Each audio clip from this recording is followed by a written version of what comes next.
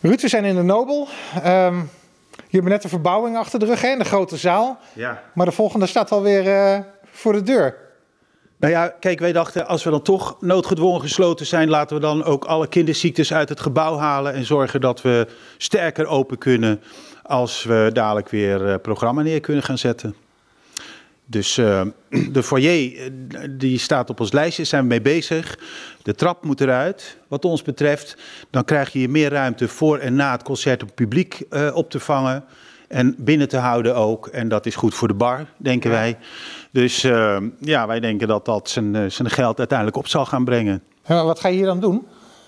Nou, we gaan hier uh, voor het, na het concert proberen we het publiek hier wat langer vast te houden. En uh, verder gaan we deze ruimte ook gebruiken voor lokaal talent. Dus dat sluit ook heel goed aan bij de plannen die we als cultuursector in de gemeente hebben. Om uh, lokale makers te betrekken bij wat wij doen.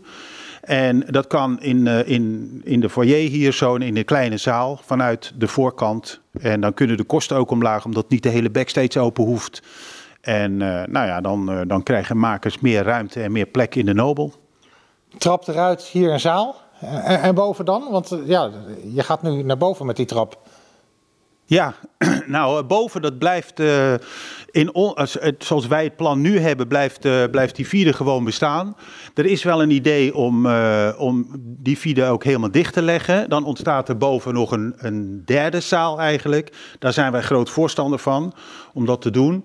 Daar hebben we ook met de X en Hothouse naar gekeken, omdat zij ook graag in de Nobel willen uh, programmeren, maar zij hebben een zaal nodig waar 200 stoelen in kunnen. Dat gaat niet in onze grote zaal, gek genoeg. Maar wij denken dat dat hierboven wel zou kunnen.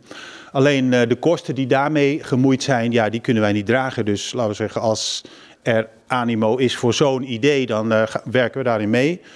Maar ja, daar zal dan wel financiering voor moeten komen. Dus dan moet de gemeente ook iets doen? Ja, maar goed, wij helpen dan ook, laten we zeggen, het probleem bij de kubus oplossen. Als de kubus verdwijnt, dan kunnen de clubs die daar zitten hier.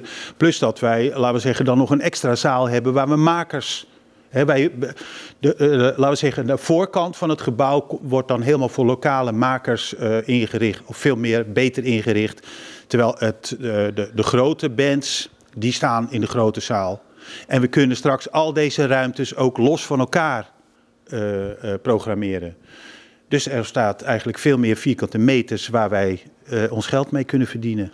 En dit past allemaal eigenlijk in dat plan ook van de gemeente om inderdaad uh, ja, een heleboel wijzigingen door te voeren uh, in die cultuursector met panden afstoten.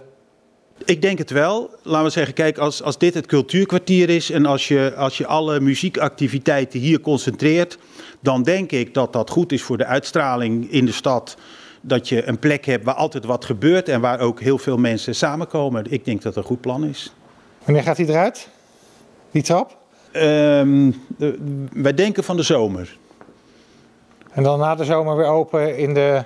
In een nieuw. En met, met een, wij, wij gaan ervan uit dat we in september weer open kunnen.